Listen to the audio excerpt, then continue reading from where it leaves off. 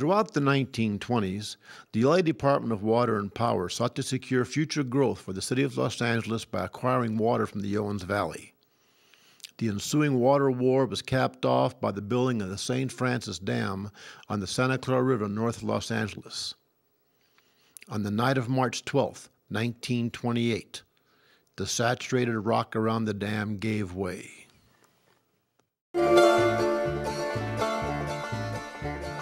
Late that date in 1928, warnings there may have been. But when the wall gave way, all below us swept away houses, crops, and men.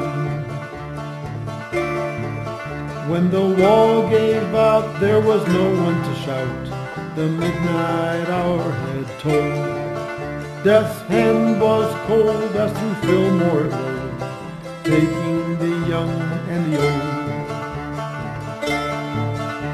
The flood broke loose when the wall went down at the St. Francis Dam. Folks downstream never woke from their dreams over 500 drowned. The flood was five stories high when it crossed the county line. Destruction as far as you could see. Ruins lay behind, some miracles to find, but many were washed to the sea.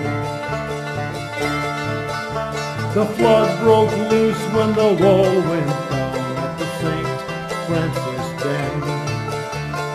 Folks downstream never woke from their dreams over 500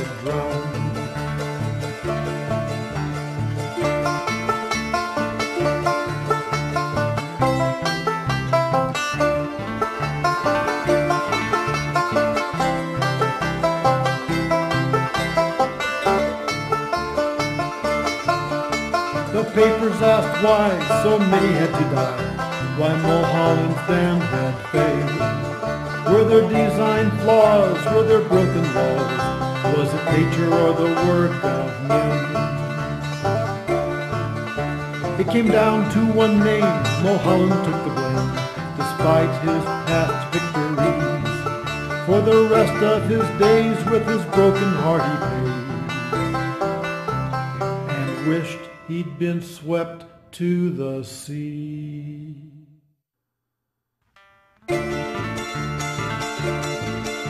The flood broke loose when the wall went at the St. Francis Dam. Folks downstream never woke from their dreams. Over 500 drowned. Over 500 drowned.